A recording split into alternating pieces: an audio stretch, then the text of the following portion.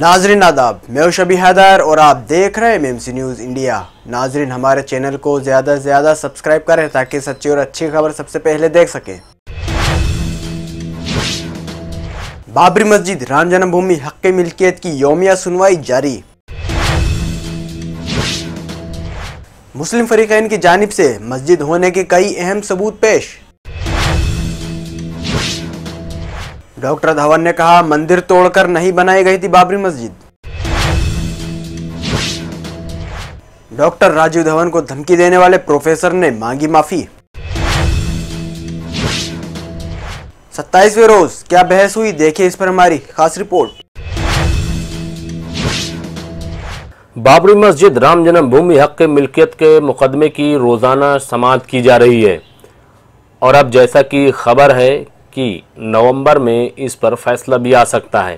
غور طلب بات یہ ہے کہ جو بھی یومیہ بحث ہو رہی ہے، اس کو لوگ بتوجہ سنتے ہیں کہ آخر کس قسم کی بحث ہو رہی ہے، کیا کیا شواہد پیش کیے جا رہے ہیں اور کون فریق زیادہ مضبوط ہیں۔ اخبارات بھی، خاص طور سے اردو اخبارات بھی، روزانہ بابری مسجد، رام جنم بھومی حق کے ملکیت کے مقدمے کی روزانہ تفصیلات دیتے ہیں۔ روزنامہ انقلاب میں جمعہ کو شائع لیٹ خبر کچھ اس طرح ہے۔ بابری مسجد رام جنم بھومی حق کے ملکیت کا مقدمہ۔ بابری مسجد کی تعمیر کے اہم ثبوت پیش کیے گئے۔ مسلم فریقوں کی طرف سے بحث کرتے ہوئے ڈاکٹر راجیو دھون نے کہا، بابری مسجد کی تعمیر تیرہ سو پنچانوے ہجری میں شریعت کے مطابق کی گئی اور کوئی بھی مندر منہدم نہیں کیا گیا۔ دھمکی دینے والے پروفیسر نے مشروط معافی مانگی۔ چیف جسٹس کی صحت خراب ہونے کے سبب دوپہر میں ہی سماعت ملتوی۔ تفصیلی خبر کچھ اس طرح ہے۔ بابری مسجد رام جنم بھومی حق کے ملکیت مقدمے کی سماعت کے دوران آج مسلم فریقین کی طرف سے مسجد ہونے کے کئی اہم ثبوت پیش کیے گئے اور یہ دعویٰ کیا گیا کہ مسجد کی تعمیر شریعت کے مطابق ہوئی تھی اور کوئی بھی مندر منہدم نہیں کیا گیا تھا۔ اس کے ساتھ ہی مسلم فریقین کے وکیل ڈاکٹر راجیو دھون کو دھمکی دینے والے پروفیسر نے مشروط معافی بھی مانگی۔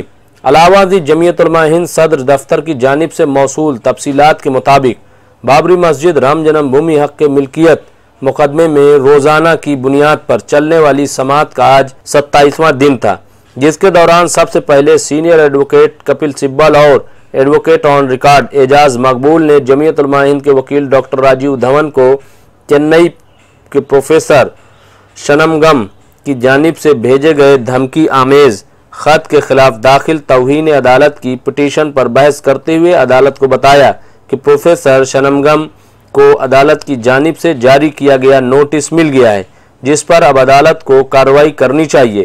اسی درمیان پروفیسر شنمگم کے وکیل نے چیف جسٹس سے کہا کہ وہ عدالت اور ڈاکٹر راجیو دھون سے معذرت اور غیر مشروط معافی مانگنا چاہتے ہیں۔ جس پر چیف جسٹس نے انہیں سخت لہجے میں کہا کہ یہ سب غیر ضروری باتیں خط میں لکھنے کی کیا ضرورت ہے۔ کپل زبل نے عدالت سے کہا کہ ان کی منشا یہ نہیں ہے کہ پروفیسر شنمگم کے خلاف سخت کارروائی کی جائے، لیکن مستقبل میں ایسا دوبارہ نہ ہو، اس کے لیے انہوں نے عدالت سے رجوع کیا تھا۔ اب جبکہ پروفیسر شنمگم نے عدالت اور ڈاکٹر راجیو دھون سے معافی طلب کی ہے، وہ معاملے کو رفع دفع کرتے ہیں۔ متذکرہ عدالتی کارروائی کے بعد ڈاکٹر راجیو دھون نے عدالت کا شکریہ ادا کیا کہ عدالت نے ان کی جانب سے داخل کردہ ارداشت پر مثبت کارروائی کی، جس کا نتیجہ یہ ہوا کہ پروفیسر کو معافی طلب کرنا پڑی۔ نیز وہ بھی پروفیسر کو معاف کرتے ہیں۔ ڈاکٹر راجیو دھون نے عدالت کو بتایا کہ گزشتہ روز جسٹس چندرچوڑ کی جانب سے رام چبوترا اور مسجد کے اندرونی سہن کے درمیان لگائی گئی ریلنگ کے تعلق سے پوچھے گئے سوال پر آج وہ عدالت کو مطمئن کرنے کی کوشش کریں گے، کیونکہ گزشتہ عدالتی کارروائی کے اختتام کے بعد سے شب دیر گئے تک ان کی ٹیم نے تمام عدالتی ریکارڈ کا معائنہ اور مطالعہ کیا، جس کے دوران انہیں ایک بھی ثبوت ایسا نہیں ملا جو اس بات کی تصدیق کرتا ہو۔ کہ عقیدت مند ریلنگ کے پاس سے مسجد کے اندرونی سہن کی جانب دیکھ کر پوجا پرارتھنا کیا کرتے تھے، کیونکہ ان کا عقیدہ تھا کہ رام کا جنم مسجد کے اندرونی سہن میں درمیانی گمبت کے نیچے ہوا تھا۔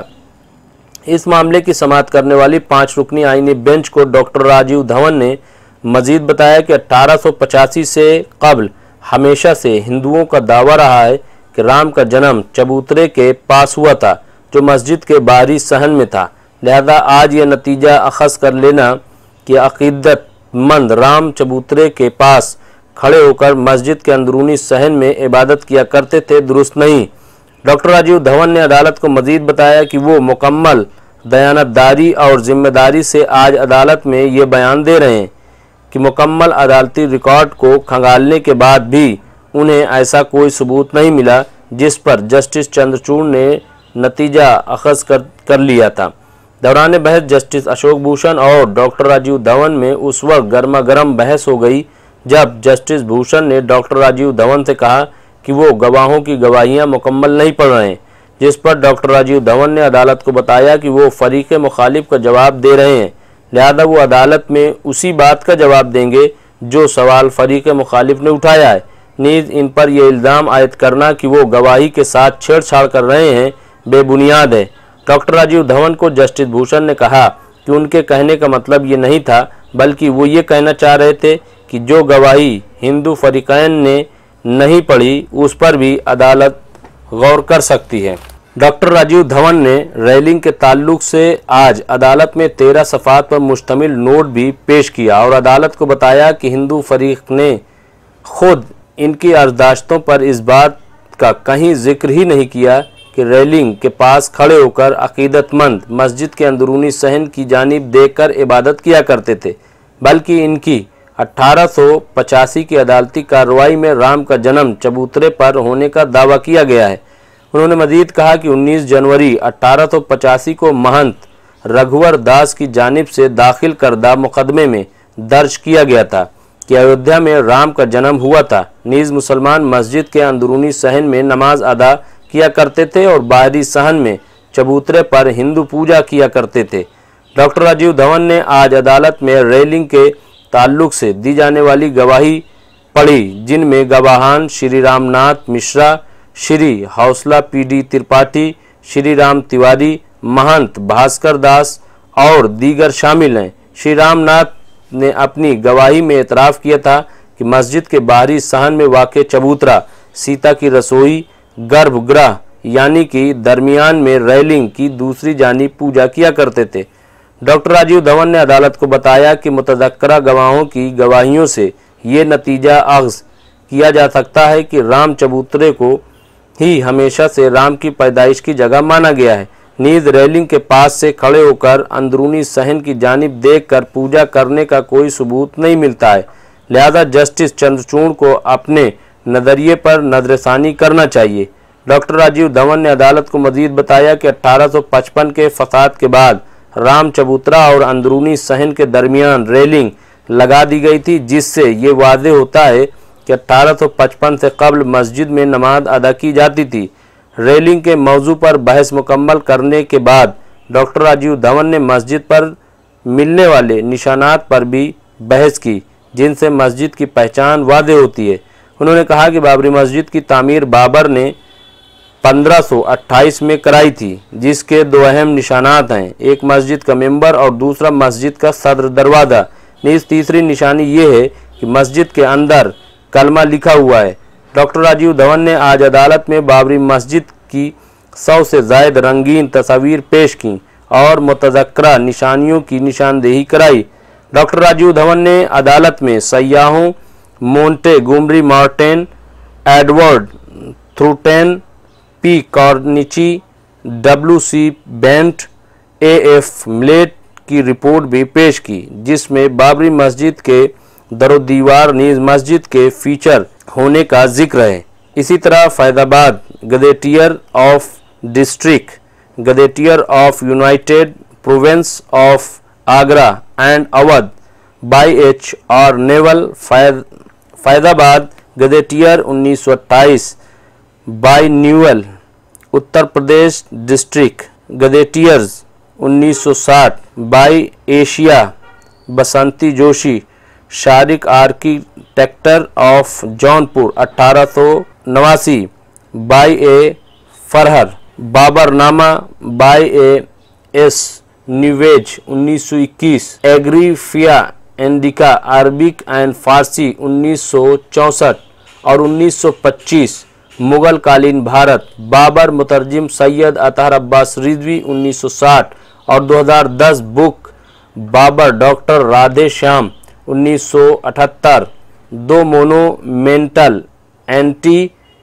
کوینٹیز اندرانسلر، the monumental anti antiquities and inscriptions by A Fuhrer اٹھارہ سو اکیانوے بابر نامہ مترجم یوگ جیت نول پوری انیس سو پچہتر ایودھیا کا اتہاس بائی اودھ واسی لالا سیتا رام انیس سو بتیس book Ayodhya by Hans Bakker کی رپورٹوں میں بھی مسجد کی در و دیوار پر مسجد کے نشانات ہونے کا ذکر ہے۔ مسجد کی تعمیر تیرہ سو پنچانوے ہجری میں ہوئی تھی اور مندر مندم کر کے نہیں بلکہ شریعت کے مطابق ہوئی تھی۔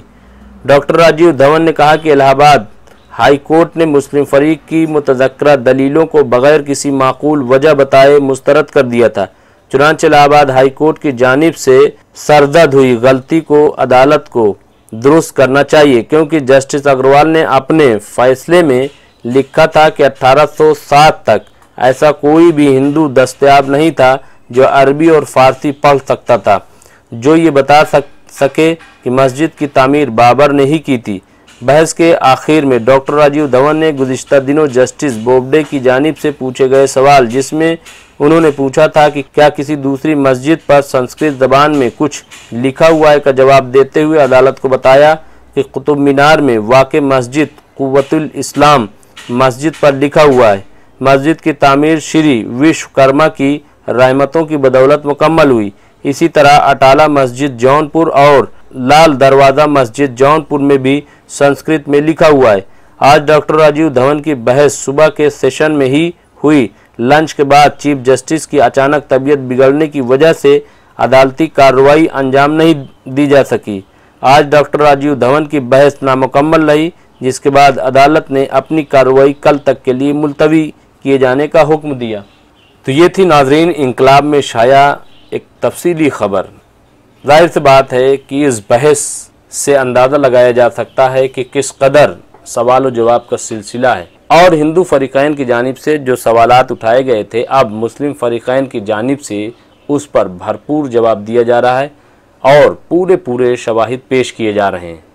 مسجد ہونے کے اب تک جتنے شواہد پیش کیے گئے ہیں، اس سے ظاہر ہوتا ہے کہ یہ فیصلہ مسجد کے حق میں آئے گا۔ لیکن ابھی مستقبل میں اور کیا ہوتا ہے، یہ کہنا مشکل ہے۔ Doctor Nasir Khatoon Rizvi report, M M C news India, Nai Dilli. ناظرین، ہم پھر حاضر ہوں گے کچھ بڑی خبروں کے ساتھ۔ دیکھتے رہیے M M C news India Nai Dilli. اور ہمارے چینل کو زیادہ سے زیادہ سبسکرائب اینڈ شیئر کیجیے۔ شکریہ، خدا حافظ۔